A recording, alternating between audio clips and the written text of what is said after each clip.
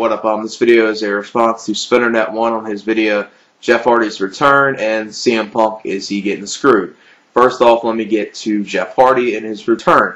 Um, yes, I'm pretty much excited him returning. Not the hugest Jeff Hardy fan, but he is a little entertaining to watch. Now, on to the other thing, I do not think he needs to be pushed up to the main eventer and get back in that position anytime soon.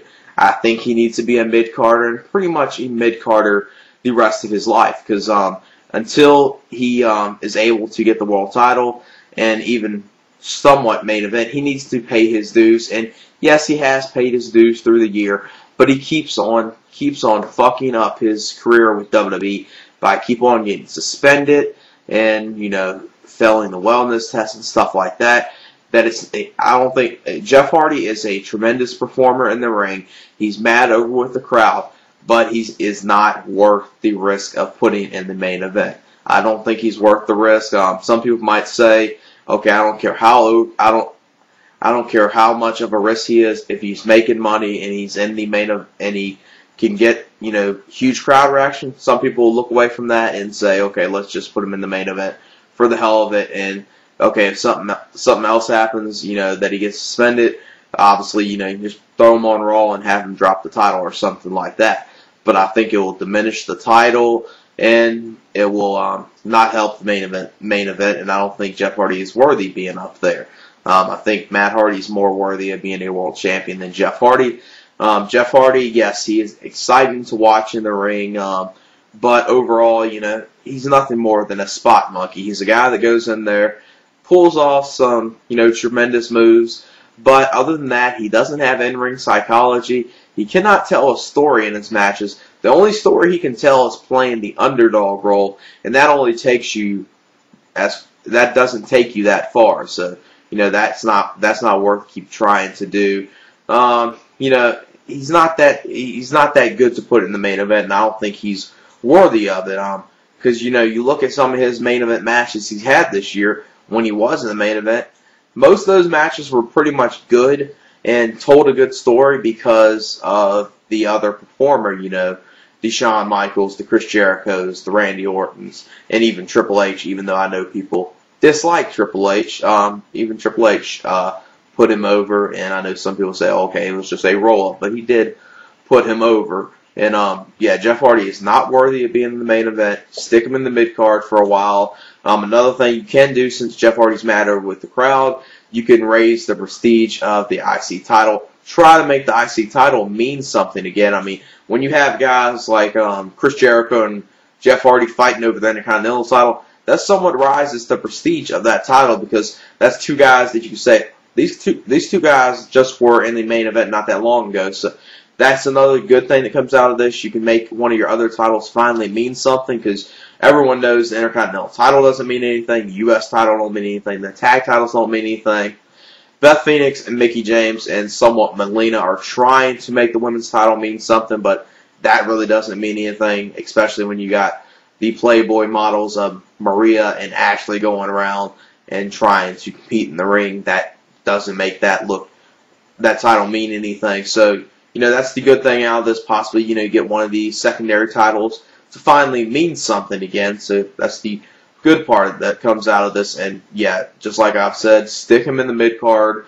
Um, possibly, you know, if he proves himself again that he can be trustworthy, which I am one of those people that will not trust Jeff as a main eventer. And if WWE pushes him to the main event again, if something happens where he gets suspended, um, I'm not going to I'm not going to even be shocked. And anyone that was actually shocked this last time or any times that he's got suspended, I don't know what they were thinking because as soon as I heard it last time, I wasn't shocked at all. And, you know, if this happens again, WWE, you're going to basically fuck yourself over. And, you know, this is going to basically look like, okay, we keep giving Jeff Hardy so many chances, and all these other guys back, backstage are going to get pissed, and all these guys are going to say, okay, Jeff Hardy keeps getting suspended, fucking his career up, but I'm not getting a push, and I'm actually doing my job um, staying clean and stuff, even though most of the WWE roster isn't clean, but still, you know, you know what I mean. And um, the next part is um, is CM Punk getting screwed, and yes, CM Punk is getting completely screwed by WWE after he won the Money in the Bank. Um, obviously, everyone knew that the Money in the Bank was most likely going to be given to Jeff Hardy if Jeff Hardy didn't get suspended. So they just basically, I guess, threw it to CM Punk, went the opposite route instead of giving it to the alcoholic drug guy in Jeff Hardy. They gave it to CM Punk, the straight edge wrestler. Um, now, the one thing in this, you could possibly, you know, I wouldn't want to do a feud of Jeff Hardy and CM Punk and have the Money in the Bank on the line because I think CM Punk needs to be the world champion and needs to be the world champion as soon as he cashes in this Money in the Bank. Because everyone knows the per- person that cashes in the Money Bank is obviously going to win the world title. But the way they have been booking CM Punk after he won this, I don't know if that's going to happen. I don't know. See, uh, I could almost see Jeff Hardy, you know, getting the Money in the Bank from him because they're not booking CM Punk in a way to make him look strong.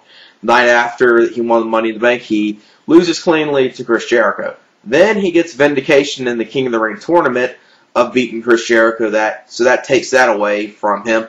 Then he loses to um, William Regal in the finals, which I didn't have no problem with because I'm a huge Regal mark and was glad they were finally starting to do something with Regal. And I really love this um, thing they're doing with um, Regal as the GM on Raw. And I think it's doing very good for him and think it's something different they got to do. So that that came off good. But then when you have CM Punk getting completely demolished and CM Punk basically got completely uh, his ass fucking kicked by Chuck Palumbo on ECW, even though he didn't pin him, it ended, I guess, in a disqualification or no contest. Um, I can't really remember. I just flipped to it and flipped to it because I barely ever watch ECW, but I saw that and that just made me flip the channel back because I was like, what the fuck are they pushing Chuck Palumbo for over CM Punk and having him demolish CM Punk. That was not a good thing and didn't make any sense. Um, I don't understand why Chuck Palumbo is getting a push, and you know, no one. I, I don't think anyone's buying this whole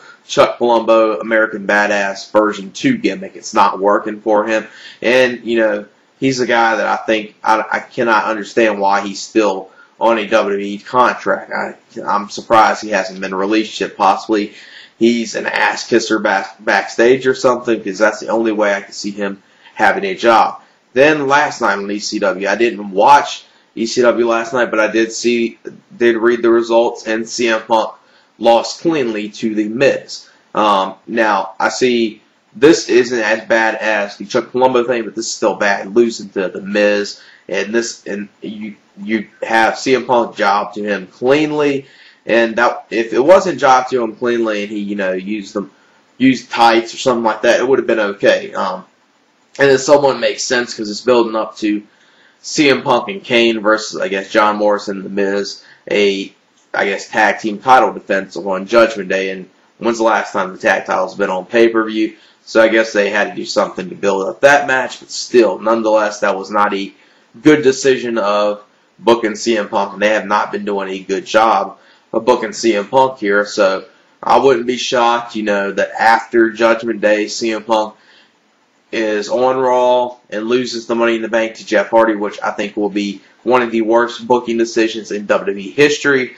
Um, because I think CM Punk is on the line. It's on the same lines of you know Joe's title run. You know TNA held Samoa Joe back so long that by the time he finally won the world title, people didn't care, and you know it people people lost interest in it. You don't want to do the same thing with CM Punk. You want the crowd is mad. He's mad over with the crowd.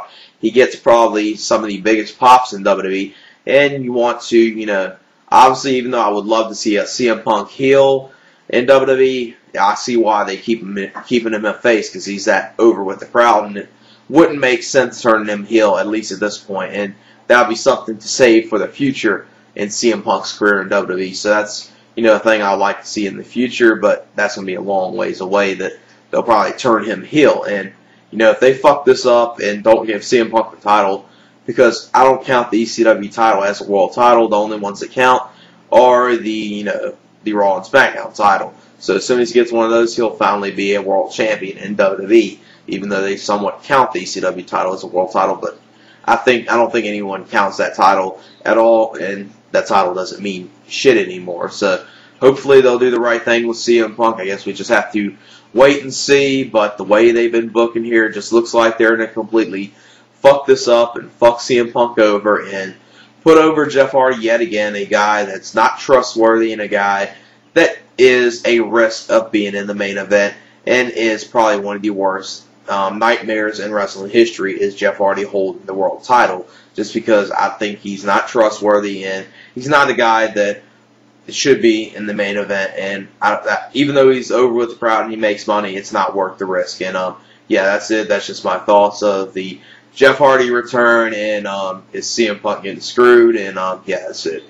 He needs to be a mid carder and pretty much a mid carder the rest of his life because um until he um, is able to get the world title and even somewhat main event, he needs to pay his dues. And yes, he had what up on um, this video is a response to SpinnerNet one on his video Jeff Hardy's return and CM Punk is he getting screwed. First off, let me get to Jeff Hardy and his return. Um, yes, I'm pretty much excited him returning. Not the hugest Jeff Hardy fan, but he is a little entertaining to watch. Now, on to the other thing, I do not think he needs to be pushed up to the main eventer and get back in that position anytime soon. I think he has paid his dues through the year, but he keeps on keeps on fucking up his career with WWE by keep on getting suspended and you know failing the wellness test and stuff like that. That it's I don't think Jeff Hardy is a tremendous performer in the ring. He's mad over with the crowd, but he is not worth the risk of putting in the main event. I don't think he's worth the risk.